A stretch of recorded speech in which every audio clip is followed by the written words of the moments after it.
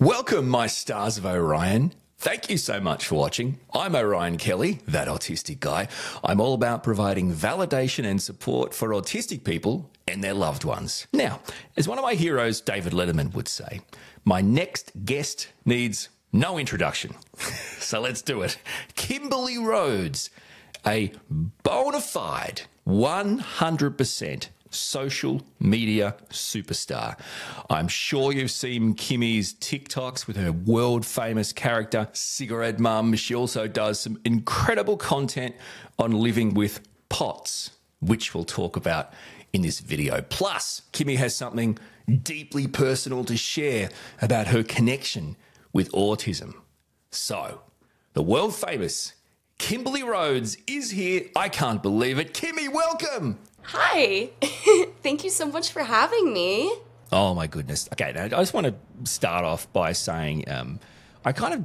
I kind of can't believe this is happening, and I, I can't even believe you're doing it. Uh, honestly, I still can't because you are you are massive, um, and you're so funny and so smart. Um, and I so I just want to say thank you because I really don't think I deserve this, but I'm stoked to uh, have you on.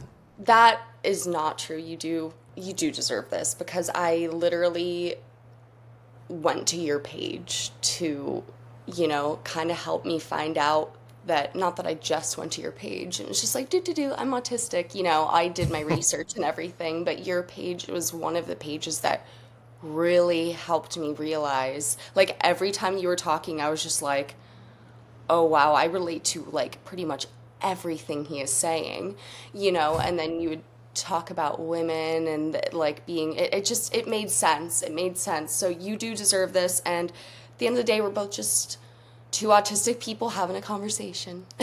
Yeah absolutely. I just want to start at the start um, and i want to talk about your connection um, in, into autism in a second. But first there are people uh, who are watching this, they have to know your content and your TikToks and stuff. But if they, and um, they have to. But if they don't, I just want to say, okay. So for starters, so Kimberly Rhoades is on um, is on TikTok and YouTube and Instagram and all these platforms. And I don't, I feel like a moron saying that because everyone already knows that.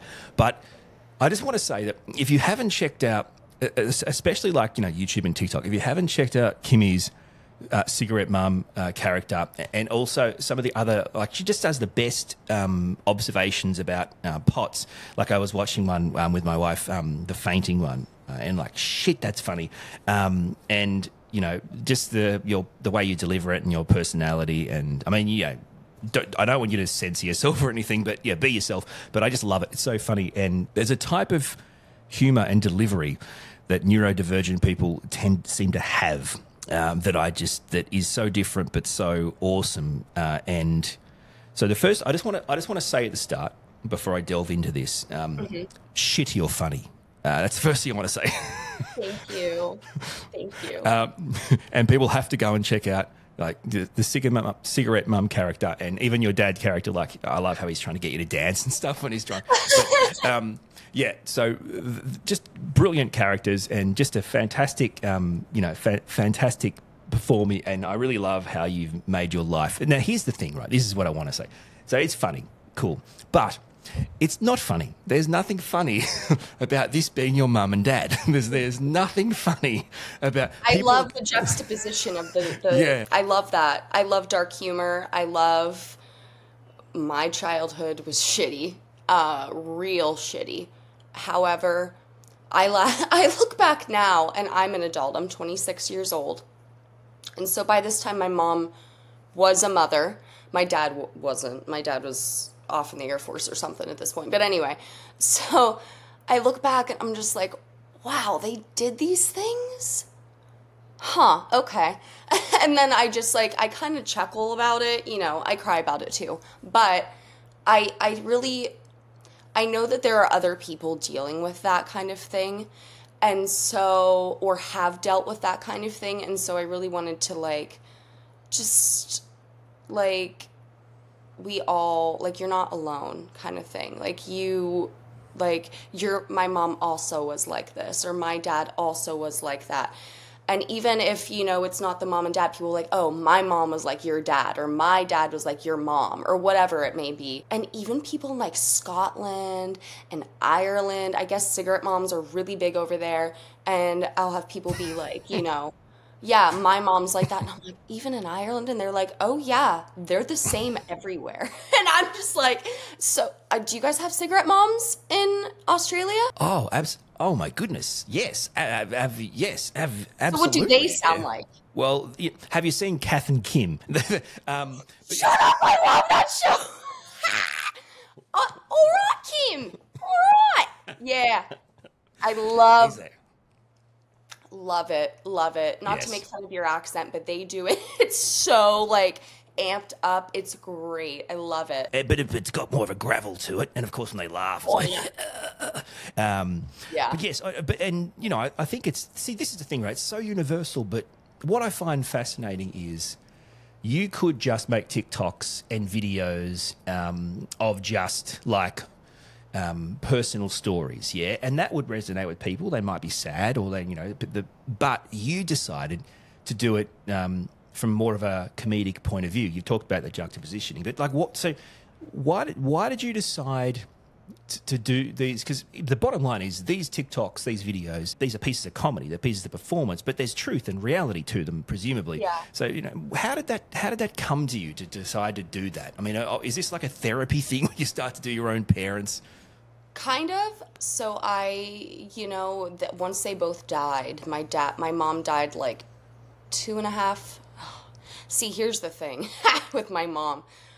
I hate to say it, but like uh, we didn't get along. So like I'm like, oh, when did she die again? Like, so I hate to say that, but I really, I want to say two and a half, three years ago, and then my dad was seven years ago. And so once my mom died, a light bulb kind of went off in my head because you know there was that relief. I'm currently reading right now. I'm glad my mom died by Jennette McCurdy, and I'm going to be doing YouTube videos about that here soon. But kind of that relief whenever kind of your abuser dies, and so I kind of took everything she did to me, and I thought to myself, I'm going to make a life out of this.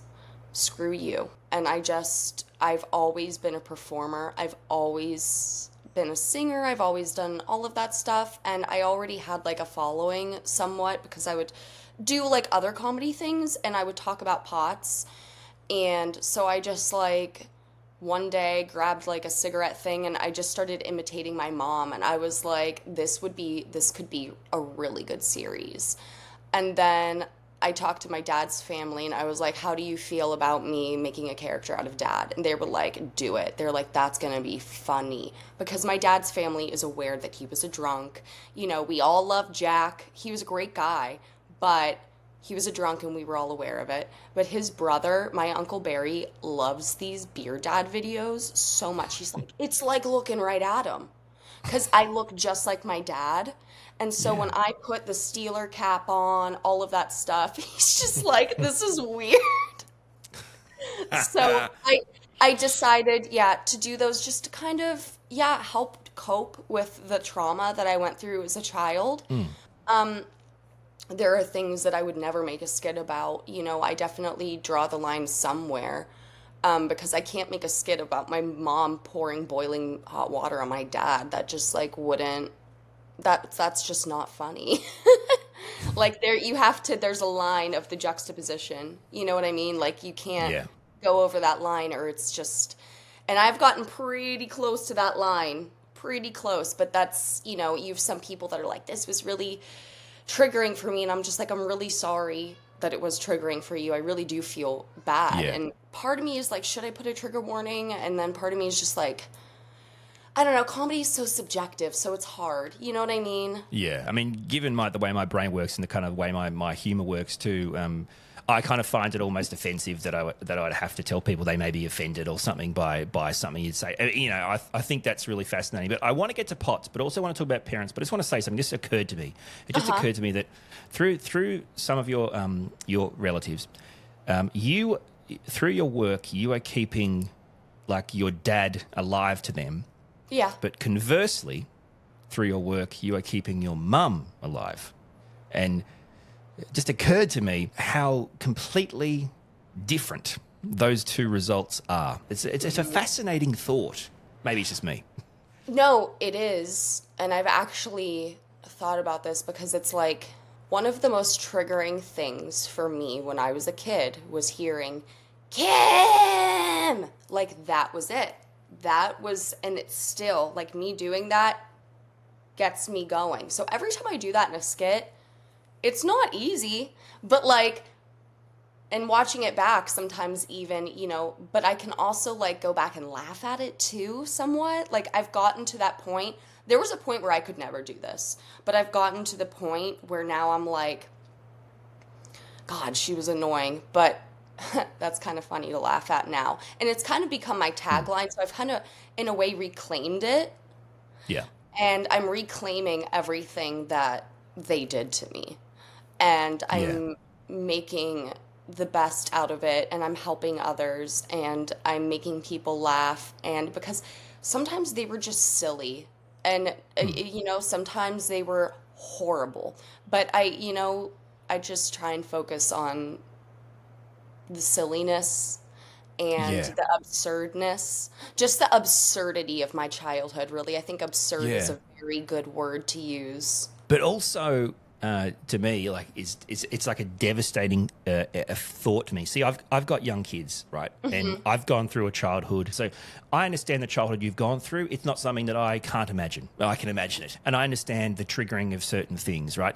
Um, you know, when I, I, till I was five, I thought my name was Jesus Christ. That's a joke, everyone. Do you see the joke? They were yelling at Jesus Christ. and I thought they were yelling it to me. Do you see the joke? That's the joke, right?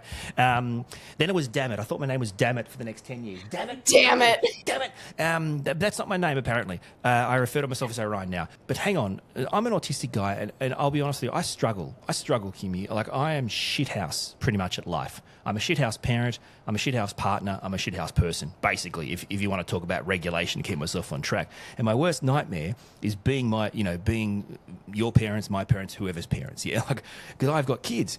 And then I think, I hear autistic people a lot talk about their parents the same way you do, right? My biggest fear because I came from them, right? they made me. I'm going to be them. Yes, and is is that something that you? I know you're not going to be them and do them, right? You're your own person, but is that something that ever, ever you ever think about too? Whether it's with your, your wife or, or kids or pets or, or you know friends or family, is that something you ever think about? One hundred percent. I so at the beginning of the pandemic, I drank a lot. I was getting drunk every night. You know, I was depressed. Um, I was alone. Like, my dad had died. I didn't have a relationship with my mom. She was dying, but like, I still didn't have a relationship with her. So I was like pretty much alone. So yeah, I would drink every night. And then I stopped that because I realized that was going bad very quickly. It was. I was drinking like six a night, like six beers a night, or not beers, but like drinks, whatever. and like yeah. it was just like it was bad. So, yeah, in that way I almost turned into my dad. I mean, both of them are drunks, but that was more of a my dad would just sit there and drink. Now, that thank God I, I can't drink anymore because of my POTS and I'm on a beta blocker now, so I really can't drink.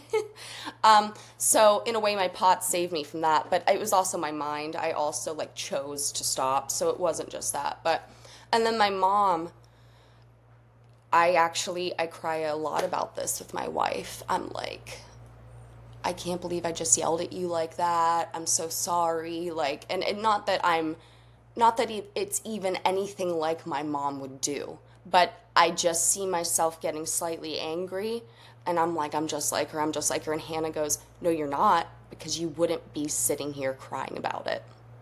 Yeah. She's like, You wouldn't feel bad. You wouldn't be saying, I'm just like her, I'm just like her, I'm just like her. Like, you are actively trying to not be like your mom. Yeah. And yeah. so she, that really helped me because, like, she really was just like, Kimmi, you're nothing like her. She's like, you are just the sweetest. You're not anything like her. And you're not yeah. like your dad. You're not, I mean, you are like your dad, but yeah. not, not in that, you know, alcoholism regard, you know? Yeah. I mean, you know, thank God for, for, partners that we have, obviously. Um, and I think from from my point of view, um, you know what? It's the devil's devil advocate inside my own brain saying, "Well, Orion, you know that um, what you have is genetic or has been passed down from someone and it came from them. And then you start to think well wouldn't people are probably looking at me going you know they're probably like that when you were a kid because you being you as a kid like you would, who wants to raise you? And then i have i have kids. You know i have an autistic son. It's no walk in the park. But then i think to myself yes but i'm the one breaking the chain here. Like i'm yep. the one and I don't do it every day, but I'm the I'm the one making the stand, breaking the chain. Like there's only like there's things that that you parents can do to an autistic kid um, that, that I would never do to an autistic kid, right? That that, yeah. that has been done. Um, and, and this is the this is the part. But then it's like the fact that it's actually I'm gonna I'm breaking a stand, I'm breaking the chain, but I'm not perfect, but I'm doing it. Just shows how similar you actually feel like you can be from you know from an experience that you you feel you you know is like completely like well, well there's good and there's bad. It's really it's a really horrible thing to navigate. Well and whenever you know you stand there you look in the mirror you look like them. Because yeah. while i do look like my dad i also look very much like my mom. So you know i look i look in the mirror i look like mary pat i laugh like mary pat i don't talk like her but i you know my hair is exactly the same as hers. Like i the reason i went red for a while is because right after my mom died, I would be in the shower, and my mom's hair was probably a bit darker than this. My natural hair color is a bit darker than this. And I would see the hairs on the wall, and I'd be like, oh my God, those are my mom's hairs. And so I dyed my hair so I didn't have to see that. and then I yeah. was like, I stopped, and because I was just like, okay, you like your brown hair, keep your brown hair, you know, but the red is still peeking through. This isn't my natural right now.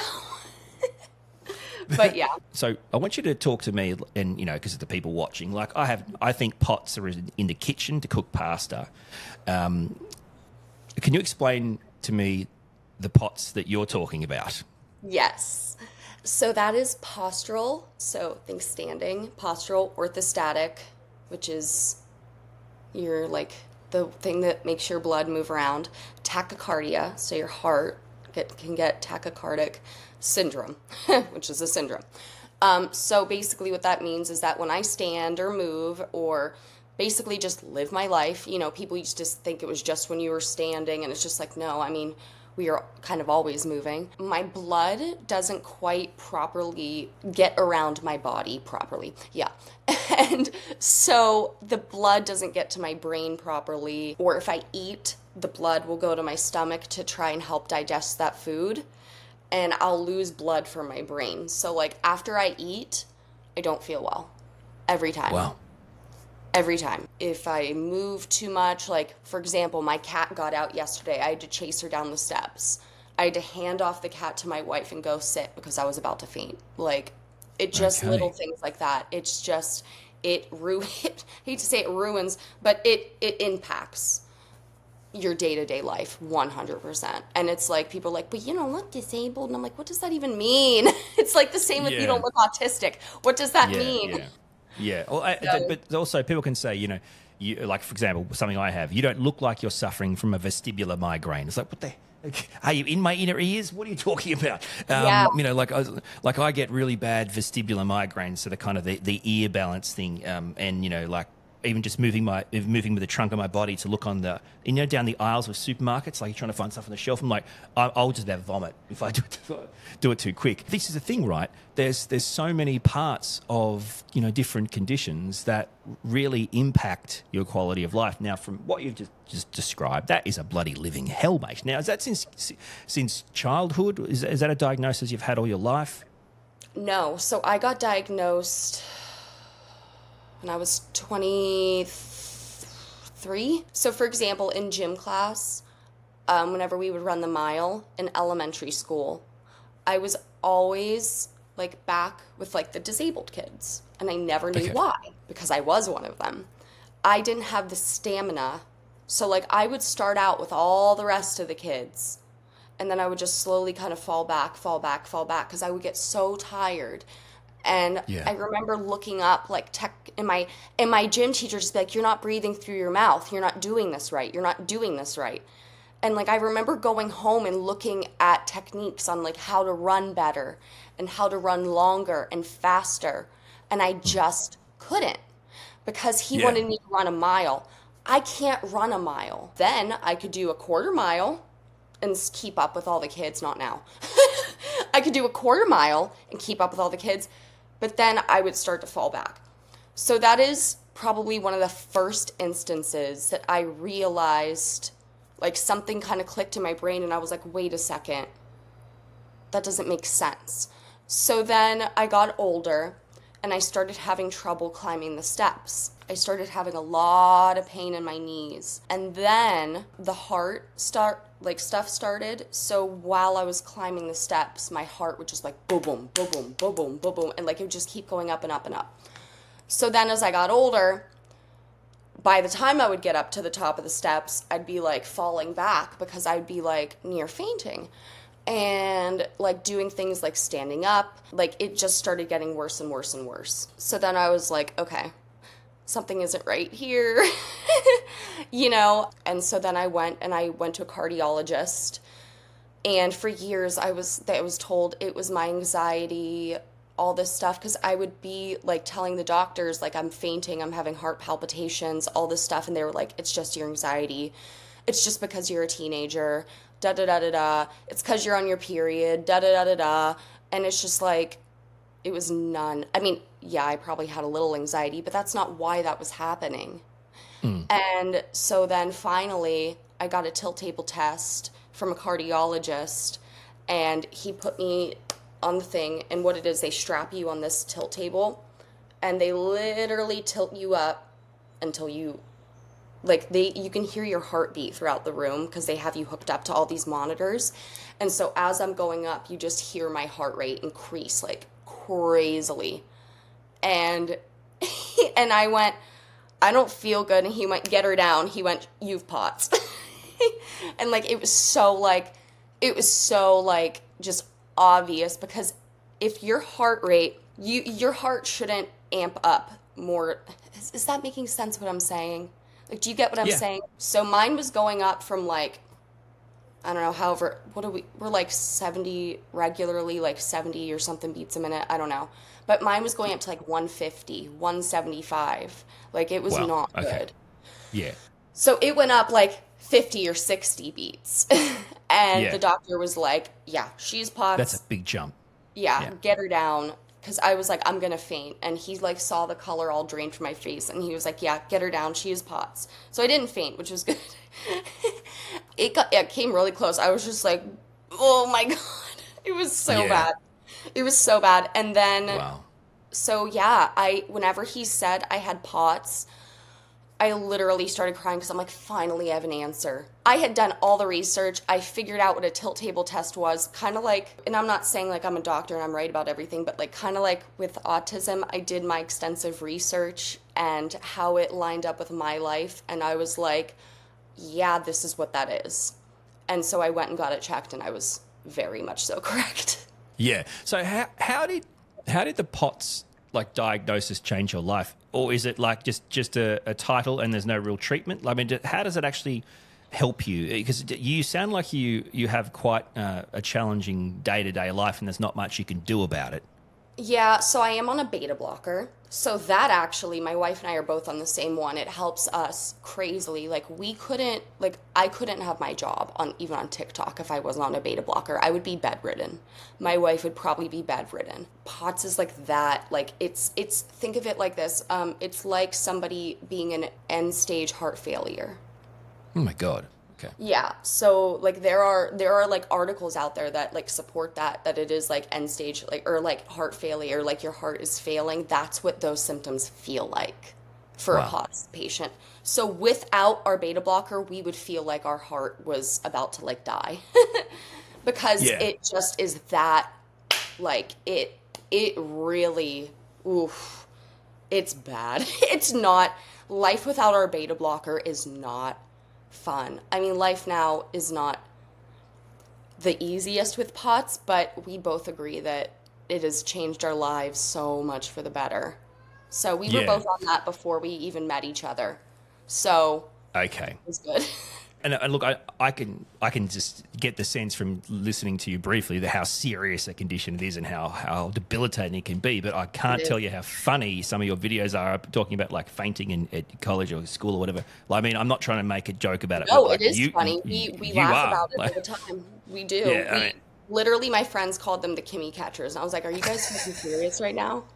and my yeah, that's my professor well she's not my professor anymore because i'm not at school anymore but um, we hang out and we laugh all the time. She's like i cannot believe those girls called you the called themselves the kimmi catchers.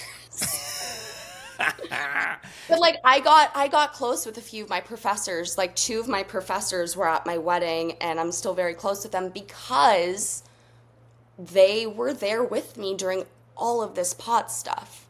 Like mm. I was literally fainting in the middle of class. Like it was so so rough. I finally like went uh, through the disability thing at school, so like I had extended time and like all that stuff. But they were just so understanding and like heard me out whenever I would explain what this is, and like they were just the best and they yeah, yeah. so i'm i was so th- and my friends were so amazing and hannah was so amazing because hannah was here with me at the tail end of my schooling. I'm not graduated yet but i just taken some time off. But she you know would come and pick me up from class so i didn't have to walk. Like everybody is just so accommodating and so sweet and it was just i couldn't have had a better group of people around me for that situation. Uh, I can only imagine um, how debilitating it would be to do really anything. Did, did, did you ever try, like, I don't know, of your own ways of fixing things? I mean, like, how, how do you, you know, how, what do you, what do you try I mean, to help yourself? I do things like, I mean, just things I found online, like, you know, putting my feet up against the wall to get the blood back to my brain if I don't feel well, or you know, if I feel faint, I don't just wait till it comes on more. I try and sit first before, like, I don't try and push through it. You know what I mean? Because yeah. I used to try and push through it and then I just end up falling flat on my face, literally. And so, yeah, if I just feel it, I'm just like, okay, time to sit. Eating small meals throughout the day. I, do, I if I have like one big meal, yeah, I'm done for. I'm done yeah. for. It's like yeah. think, think of like Thanksgiving. So like a normal meal for me how you feel after Thanksgiving, or gosh, you're in Australia, so you don't know. Christmas, yeah, Christmas. Yeah, Christmas, whatever big holiday where there's mm-hmm. lots of food, you know, and you're like falling asleep after. That's how I feel after like every decently size, like every normal meal that a person should eat. So like Hannah and I don't eat three big meals a day. We yeah, yeah. We, we eat sporadically throughout the day. We snack. We have like grapes here, crackers here you know, an egg and toast in the morning. So like we do kind of like do breakfast, but still very small. Yeah, yeah it's kind of like grazing. I really liked. Uh, that's kind of the way I, I eat. Believe it or not, I really like that way of going. Hey, how did we get to autism for you? How, how did you? How did this become part of the conversation? And, and yeah. how did you look into this? And it seems like a really fascinating, a fascinating journey for you, given you know yeah. the your life experience. Well, you know, when I found out I had POTS, I was like, okay, so I know what's wrong with me physically, but I still like, and I hope you don't take offense to this, but I've always felt off. You know what I no, mean? No, definitely not. Yeah, 100%. 100 yeah. Out of place, mis- mismatch, absolutely, 100%. So I really felt off and I felt just like off. I don't I don't know how to describe yeah. it. Like it's just you people have always made me aware that I don't quite I'm not the same, if that makes sense. Like I'm just a little bit different and I think a little bit differently. And I was looking up is the word coma co morbidities. Yep. Yeah, that word. I can never say that word. I hate it. I like I just say co-occurring conditions to be honest with you. But yeah, yeah. co-occurring. Yeah. And POTS and autism often go hand in hand. I was like, all right. So I, and you know, I'm not trying to find more wrong with me. Trust me. If any of you are just like watching this and you're like, she's just trying for, no, I don't want more wrong with, wrong with me. I don't no. want another no. thing added to the list. Trust me, that's the last thing I want. But whenever you realize that you're a certain way and you don't know why, you go searching for answers. And that's what I did. And I did it with POTS and I re like and I really realized like I've just always been slightly different than other people.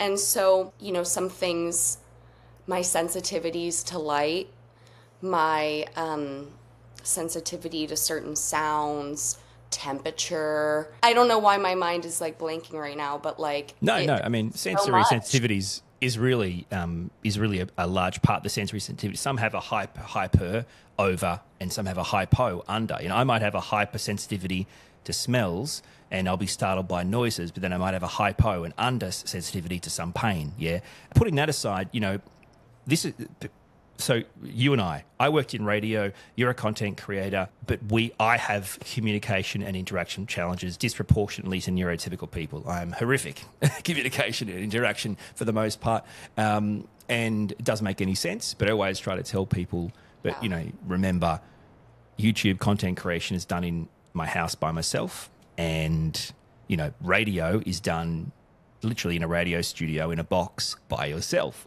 Yeah. um, so it's kind of like it's an insulation from the real world. People don't realize, but you know the, the, the interacting and the communication, but also so that's another aspect of it you can talk about. But also there's this kind of restrictive or repetitive behaviors, which is like this r- routine, this sameness, this idea routine. of yeah. yeah, and also soothing or regulating yourself through stimming and repetitive behaviors. Um, like, for example, you do a character, yeah?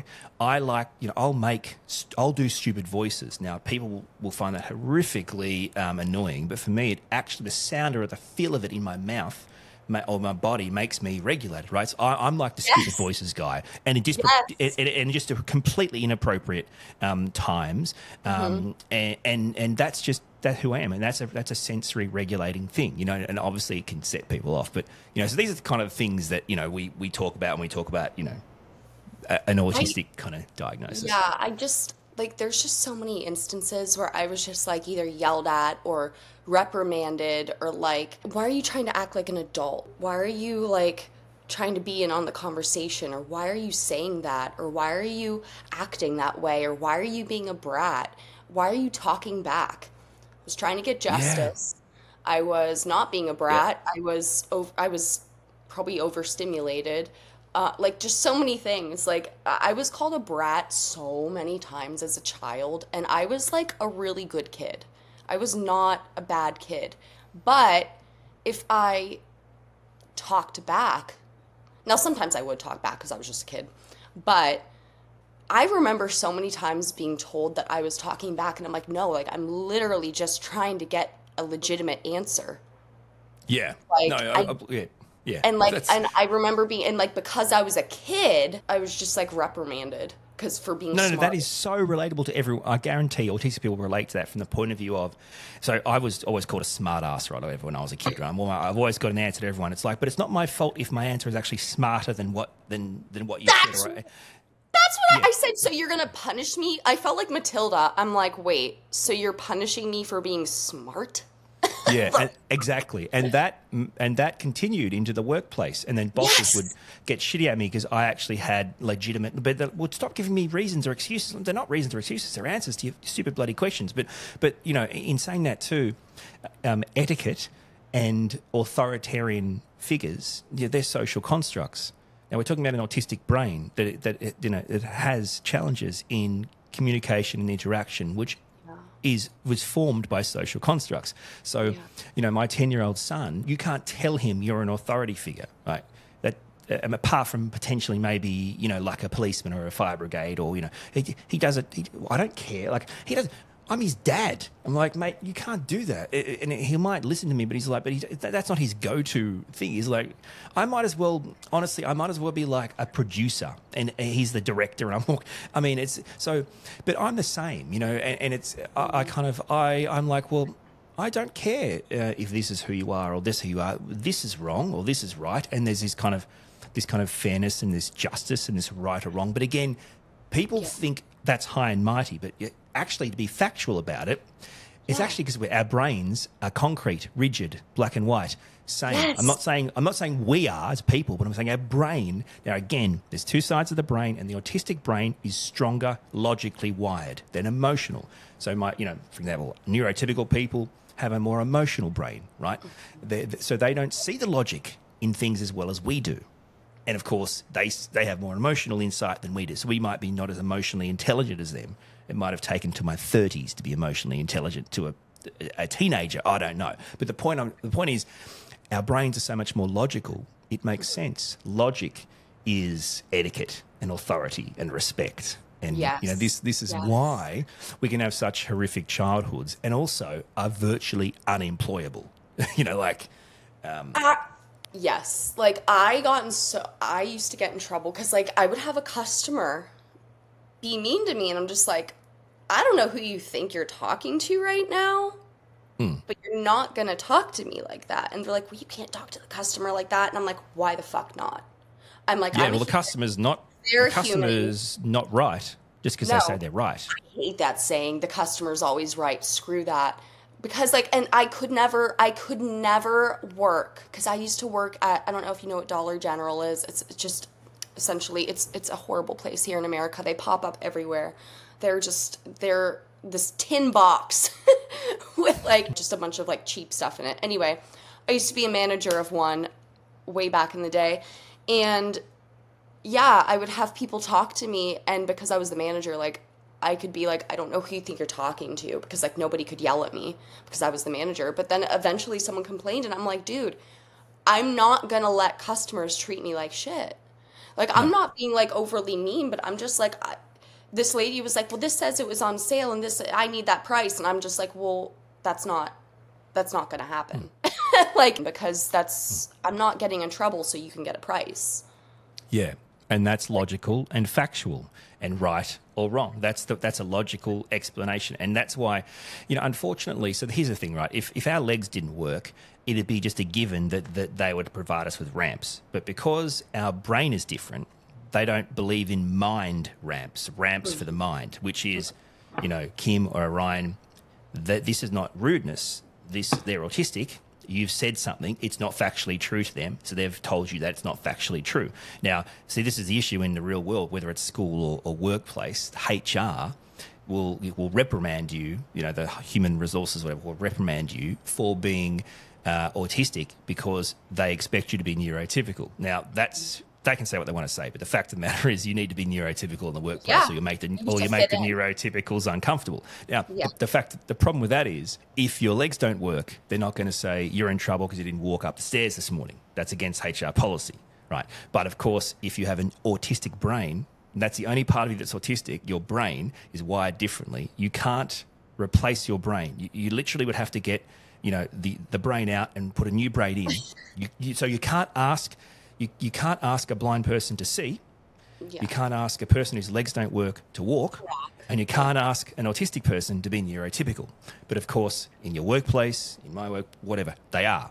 And this is one of the core issues of you know late diagnosed autistic people is you know they have that diagnosis, but it's like yeah, great, but it's going to mean chicken shit in the workplace. They don't give a crap. And in addition to that, I've got no chance of ever getting a job or a career or holding it down unless I continue to mask and suppress and you know for the rest of and my life and where yeah. where's that going to get me? You know? That's why part of the reason like I do want that official diagnosis because uh, for those of you watching I am self-diagnosed which I believe is a for autism because you know yourself best and it's yeah. not like I just came on here and was just like, do, do, do, I'm autistic. Like, I've been doing months and months of research just as I did for POTS. So don't and justify, please don't justify yourself. And before, I'm, not, I'm just going to jump in before you talk about the, the other reason, especially for women are girls, and depending uh, what what race you are, depending what country you're in, depending how much money you have, depending on how long you, you no wait, depending on how depending on how stupid the doctors are, there are thousands of barriers getting in the way of anyone who's not a young white boy for an autism diagnosis.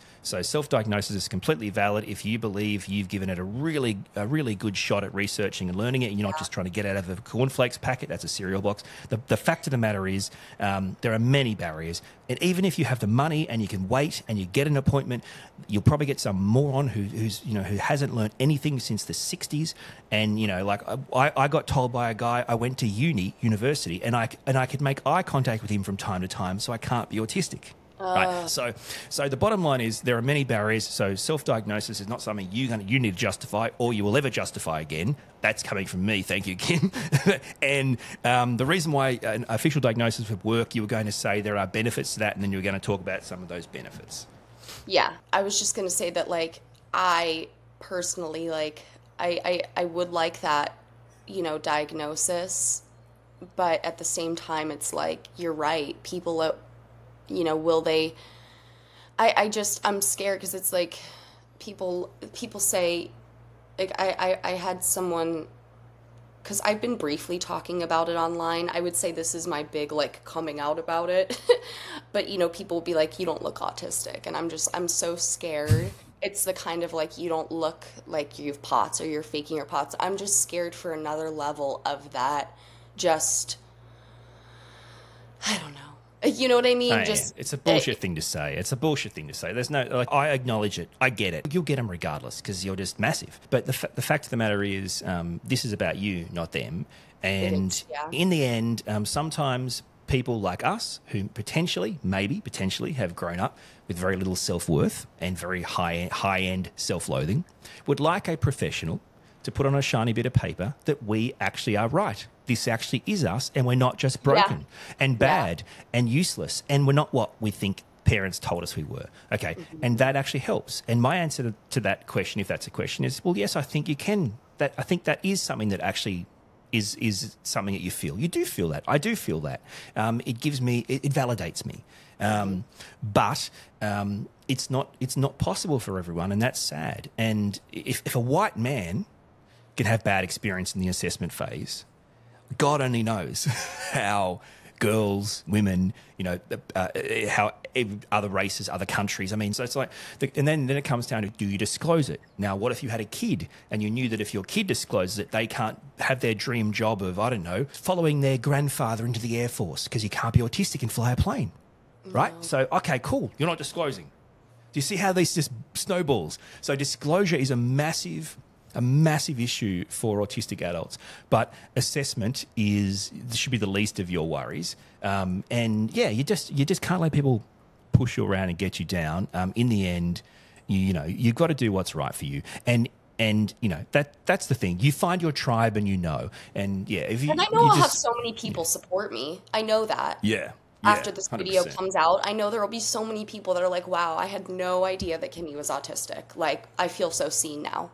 I know that. And that makes me feel so good because I know while this is really hard for me, I know like about my POTS, like it's it's important for me to talk about because yeah. it, it's going to help somebody. And I uh and also it's important for me to accept that this is who I am and I want everybody to know that. And I want everybody to know, you know, this is how my brain works, you know, if I you know, if I seem a bit awkward when you come up to me for a picture, you know, it's not you.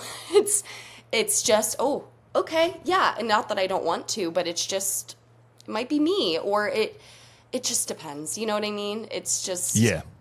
I, I get it. You know, you're combining these life experiences um, with, you know, the with the world at large and you know, you, people love you, um, but you still have challenges they will never fully understand. and you know that's something you've got to balance. I think it's a challenge um, for, for all of us. There's no question about that. I mean, I I have an example of a cha- like so. I was so upset because I recently like I did a video or like I, I work really hard on my videos and the cigarette mom character I've created and da da da da da and all this stuff. And then somebody rips off my character in one afternoon and makes a video and I'm just like, okay, that took me all that work, all that time, everything that I could put myself into. I remember I was sitting here with Hannah and I was just so upset because I'm like, people don't get how much it takes for me to film a video. Yeah. And get yeah. ready to film a video and get the script yeah. ready and do all that.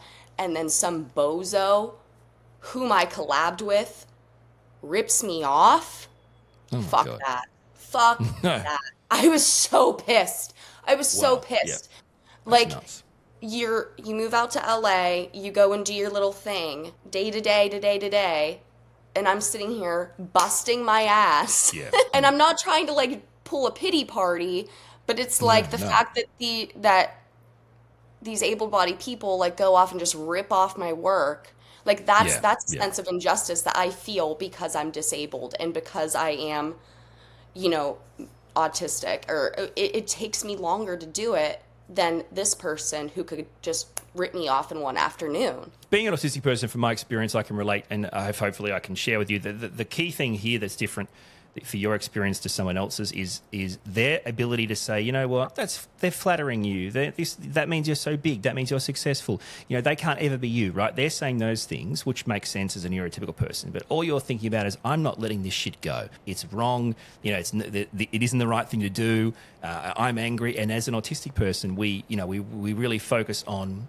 we focus on the minutia of right and wrong and the idea that this is not acceptable. And I unfollowed them is, right away. I was like, screw yeah, you. Yeah. I unfollowed. But, I was like, I collabed with you and you did this to me. Screw you. Yeah, no, but that's not. Yeah, but that's clearly not acceptable, right? But no. our brain struggles to let go of that stuff disproportionately to say say someone else would go oh just what just what happens but but see this is the point I'm I guess I'm making is this shows how hard it can be to kind of because we're not doing this for just jokes. Like we're, I'm actually we're trying to help people here, right? Yeah. To, it's not easy, uh, and it takes it takes a massive amount of time and effort, um, yeah. you know, to, to, to do these kind of things.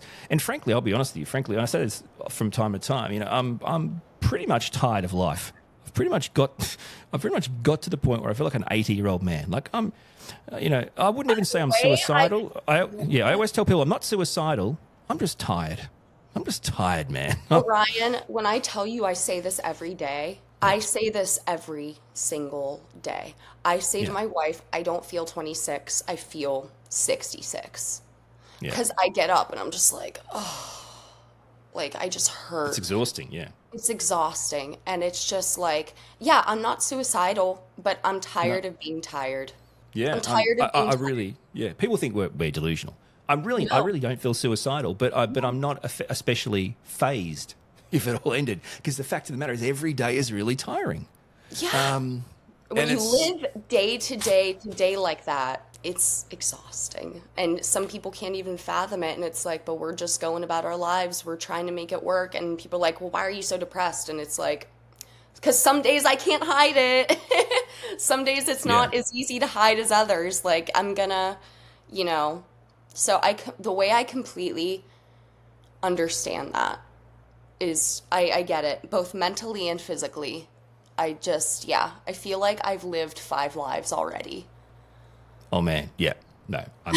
I, I could, you know, obviously when you're preaching to the converted, dear sister. Uh, but I mean, seriously, it's ridiculous, um, and it's. I, I, wish I could explain it in a way where it didn't make me feel didn't make me feel so small, like I'm like I'm minimizing real people's struggles. Like it, yeah, I'm not. No, it, it's, it's, just really, yeah. Um, and it's sad too when you have like a family, like obviously you've got a wife. When you have a family, you, they think they must think, well, what are you, what are you, what are you saying about me? You know, but it's like it's not even. Uh, it's not even. It's not even connected to that. No, you know, it's not even connected to that. It's like, but for you, I'd be gone. I, I swear to God, if I if I didn't have my family, I'd be gone, man. Well, and um, that's what I say to Hannah because I have the hmm. same thing, and like she knows because we've had not not a fight, but like we've had this discussion. Well, what do you think about me then? Da, da, da.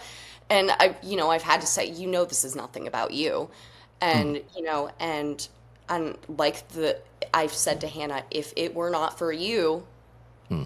I could, yeah, I wouldn't probably be here. Yeah, I'm in love with this conversation and, and meeting you. Uh, I have to let you go. It's unacceptably long now for you uh, to be being such an awesome person and also, uh, you know, having lots to do anyway in your day and the fact that it's the end of the day for me.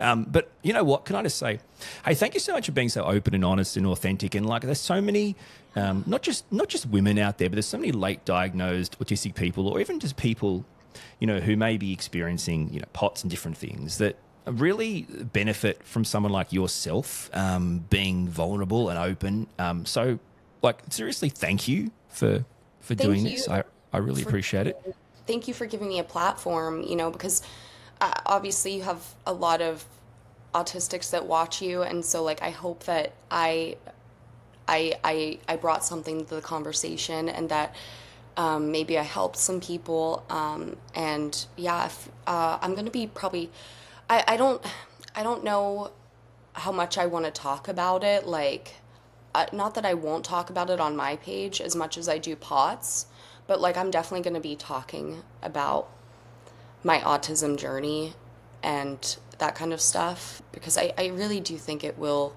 be beneficial for people uh, and i just I, I, I, that's what i want to do at the end of the day. I know it sounds so cliche and so many people have said it but like i really I, you know if i could do anything with what i've been given i just really want to help the world and change the world. And so I'm, I'm glad that you, you've given me the opportunity to do that with your page. And I, I just thank you so much. Anytime. Oh, that's a neurodivergent mind really at play here. What, what do you do it for? To change the world. It's like, seriously, it could have picked anything bigger. Um, but that's literally how we work. That's literally how we tick. You know, there's so many amazing and incredible, um, you know, autistic content creators, some fantastic autistic women that I've. Uh, I've met through the journey. So, um, you know, hopefully you guys will be able to um, chat and continue this conversation as well because there, there's just some fantastic people out there and it's so great to have you. But anyway, I am uh, forever in, in love and thank you so much for your time. Um, it's you. been the bestest, Kimmi. Thank you. Thank you so much, Orion. I really appreciate you. If you want to learn more about other types of conditions that can co occur for autistic people, check out my playlist, Co occurring Conditions. Or maybe you're more looking for some collabs. I've got a playlist for that too. Yeah, it's called the Collaborations playlist.